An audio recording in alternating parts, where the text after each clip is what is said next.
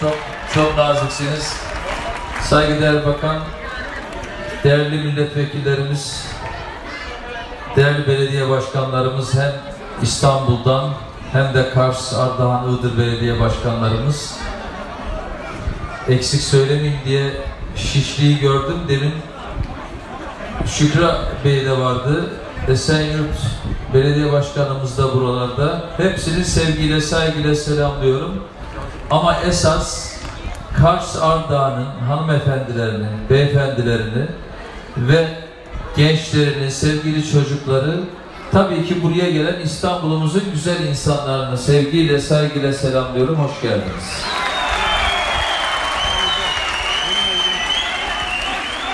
Bu bir tabii hemşeri derneklerimizin buluşma geleneği yıllardır yapılıyor. Geçmişten bugüne emeği geçen herkese teşekkür ediyoruz.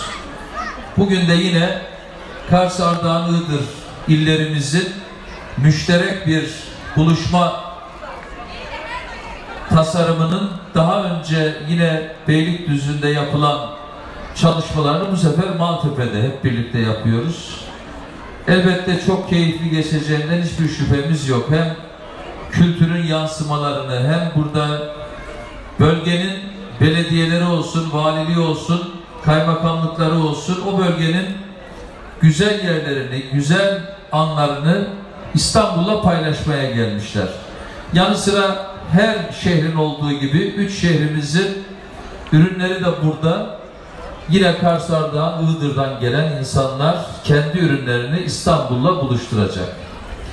Şimdi benim söylemek istediğim elbette ülkemizin 81 ilini çok seviyoruz. İstanbul'un öyle bir güzelliği var ki hem ülkemizin 81 şehri var burada hem de toplumumuzun geçmişten bugüne oluşumunda geçmişini Balkanlara kadar uzatan, Kırım'a kadar, Kafkaslara kadar uzatan, ta Orta Asya'ya kadar dünyanın farklı yerlerinden bu güzel ülkede hayat bulmuş ve milletimizin bir parçası olmuş. Etnik kökeni ne olursa olsun, inancı ne olursa olsun milletimizin o bütünün bir parçası olmuş. Az önce konuşan milletvekilinin de çok kıymetli ifadelerini dinledim. Teşekkür ediyorum kendisine. Ee, ben çok değerli bulduğumu söylüyorum öncelikle. Tam da toplumun o çok renkliliğini iyi anlatan ve bugüne dair de mesajları kuvvetli veren bir konuşmaydı. Teşekkür ediyorum kendisine. Bence tümüyle bu bilinç, tümüyle bu bakış açısı bugün hepimizin ihtiyaç duyduğu şey. Ama şunu bir hakkını teslim etme adına söylemem lazım. Kars, Ardahan, Iğdır illerimiz çok karma yapısına, çok karma kültürüne rağmen gerçekten uzlaşmayı, hoşgörüyü, bir arada yaşama kültürünü belki de en üst seviyede hissettiren illerimiz. Bu da ayrıcalıktır. Bu manada ben yürekten teşekkür ediyorum sizlere. Yıllar önce yıllar önce katıldığım bir etkinliğinde şunu söylemiştim.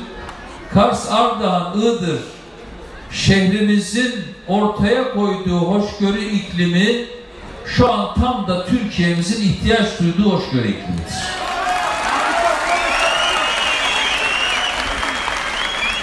Dolayısıyla kucaklaşmak, kol kola olmak, ayrışmak için, sebep aramak için çok yoruluruz. Ama bir arada yaşamak için inanın sebebe bile ihtiyacımız yok. Zaten kol. Ayrıştırıcı unsurların dile getirilmesi, manevi duygularımızın sanki uzmanlıkmış gibi birileri tarafından derecelendirilmesi zaten mümkün değil. İnancımızı Allah'a emanet, en iyisini Allah bilir, inancımızı O bilir. E bizim milli duygularımızı, bu toprağa bağlılığımızı ya da bu coğrafyaya bağlılığımızı, bu milletin, milletimizin bireyleri olma arzumuzu, hararetimizi de vallahi bilecek insan henüz yeryüzüne gelmedi, doğmadı. Yok öyle birisi. Olamaz da.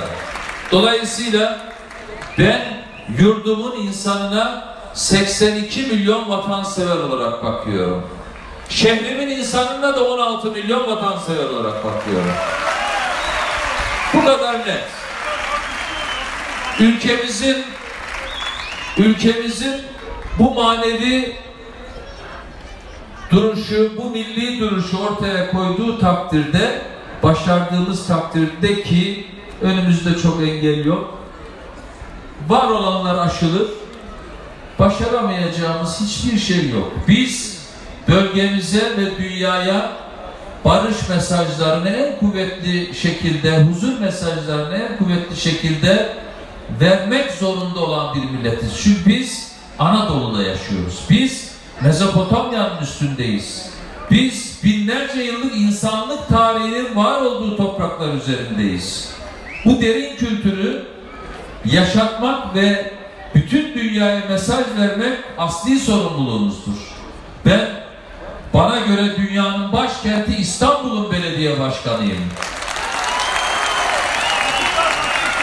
Kültür belediye, kültür başkenti, sanat başkenti, tarihi, maneviyatı, bütün inançları bir arada besleyen, binlerce yıldır besleyen, binlerce yıldır herkese özgür alanlar var etmiş bu kadim kentin belediye başkanıyım. O bakımdan attığım her adıma, attığım her imzaya, söylediğim her kelimeye, bırakın 16 milyon insanın bir ferdini incitirim endişesiyle konuşmayı, dünyaya yanlış bir kelime gönderirim İstanbul'dan diye o kadar titiz davranıyorum. O kadar titiz. O bakımdan Kars, Ardahan, Iğdır'ın bu hoşgörü iklimini bütün etnik kökenlerin bir arada yaşama becerisini, saygınlığını var etme duruşunu hep birlikte iyi analiz etmeli, iyi idrak etmeli ve bu ülkenin her yerine yaymalıyız. Çocuklarımızın gözleri pırıl pırıl. Bütün çocuklarımız burada gözleri ışıl ışıl bakıyor bize ve bize diyor ki bana güzel bir gelecek var edin. Böyle diyor. Bu ama İstanbul'da ama Kars'ta ama Ardahan'da ama Iğdır'da bütün belediye başkanlarımız, bütün milletvekillerimiz, bakanımız, bakanlarımız, bu ülkeyi yöneten herkes, herkes bu sorumlulukla hareket edecek. Sevgiyi ve saygıyı asla ve asla vatandaşına karşı eksik etmeyecek. Dolayısıyla yıllar birkaç yıl önce Kars Ardahan gezimim olmuştu. Iğdır'a borcum var. Biliyorum. Ne kadar etkilendiğimi tarif edemem. Şahit olan arkadaşlarım var burada bizimle. Yani öyle bir tarihi varlığı var ki yani Kars'ın doğal güzellikleri, Ardahan'ın keza öyle. Bakın sadece Ani harabelerini dünyaya anlatsak orası bir turizm merkezi olur. Ama burayı var etmek, geliştirmek ve hızlıca dünyaya servis etmek lazım. Çıldır Gölü'nün üzerinde yapılacak her faaliyet dünya çapında ama sportif ama kültürel etkinliklere dönüşebilir. Sarıkamış başka bir dünya güzeli bir yer. Birçok şey sayabiliriz burada. Birçok şey. Ülkemizin her noktasında bu şaşırtıcı, muazzam e, ama doğaya dönük ama tarihe dönük örnekleri var.